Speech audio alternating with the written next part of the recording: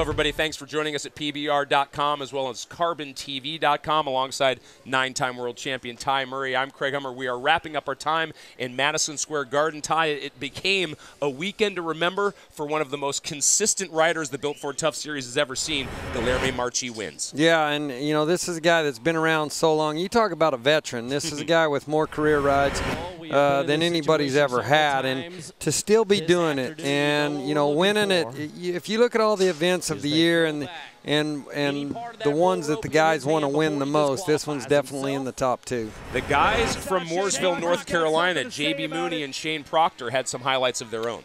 Yeah, um, very good. Uh, I think I think Shane could have just used a little bit more bull power, and and JB uh, needed to not let one slip away. Uh, and then you look at the the consistency of Silvano Alves.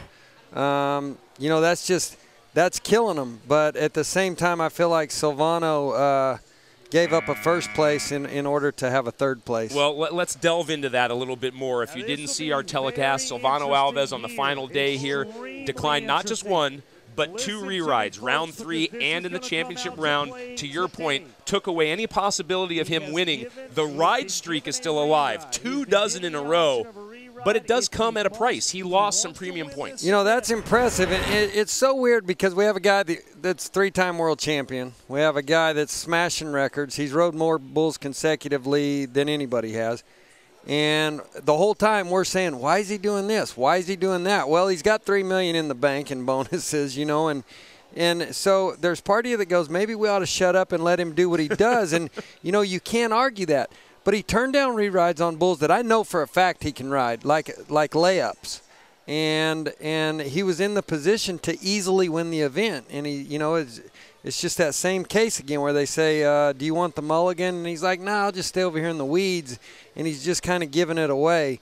Um, instead of getting 400 and some odd points, he got like 220. Before we get to our next point, here's my advice for you. We're in television. Never be willing to shut up, okay? We'd lose our jobs if we did. But let's talk about moving to Oklahoma City. We get a great weekend here, one of our marquee events, just because of the location. Yeah. Next weekend in Oklahoma City, one of the marquee events because of the bull power. Yeah, it's going to be it's going to be way different than it was here in New York. You know, we saw a lot of re-rides. We saw a lot of mediocre bulls mm-hmm. and and and – you know, bulls that are in the low 80s range. You're not going to see that in Oklahoma City. It's going to be the worst bull there is going to be rank, and you're going to see Long John. You're going to see Mickey Mouse, Asteroid, uh, all the ones that are that are the buckers. And you know, I think we're we're kind of in an era now that Bushwacker's retired, that everybody's looking to see who that new great standout bull is going to be, and. I think Long John has a great chance of doing that. I don't think he's a very mean bull, but he's a big bull and he has big movements and they're strong and, and they're and they're very dangerous. He's going to wipe some guys out. That's just the nature of the way he bucks and and as with all dragons, there's going to be somebody that's wanting to slay him. Well, and as you would attest, a lot of our fans watch purely for the bull power, and that will definitely be on offer next weekend. New York in the books. We hope you join us next weekend for Oklahoma City.